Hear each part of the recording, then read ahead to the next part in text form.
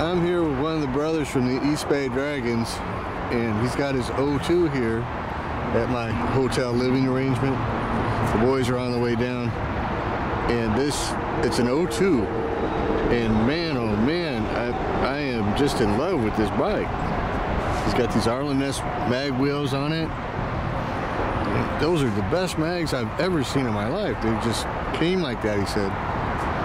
He's gone down to the bare frame and back again on this O2, 117 inch. He's got the knurled heads and cylinders, the six speed, the Mikuni flat slide. Man, this bike is just sharp. Detail everywhere.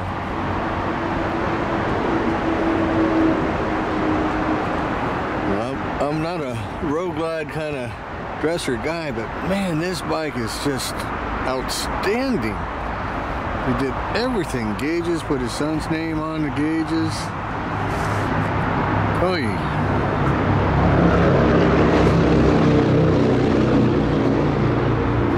I asked permission before we did this little film here, but I just had to share this with everybody.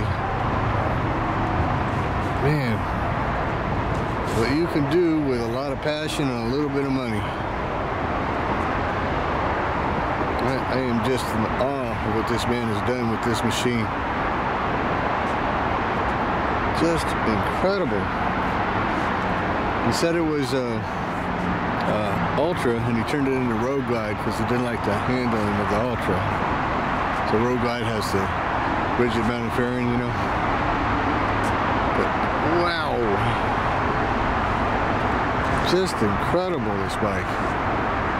Just had to share it with everybody. Thank you, brother.